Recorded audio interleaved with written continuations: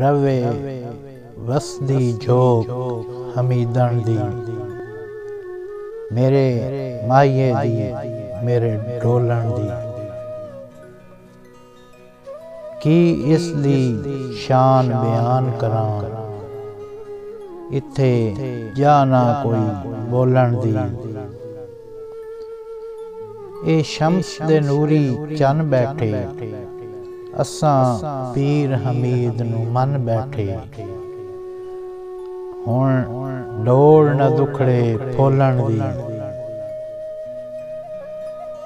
ਮੇਰੇ ਮਾਹੀਏ ਦੀ, ਮੇਰੇ ਢੋਲਣ ਦੀ। ਇਹ ਪੀਰ ਕਮਰ ਦਾ ਤਾਰਾ ਏ। ਇਹ ਸ਼ਮਸ ਦਾ ਰਾਜ ਦੁਲਾਰਾ ਏ। ਇਹਨੂੰ ਤਾਕਤ ਕਿਸਮਤ ਖੋਲਣ ਦੀ।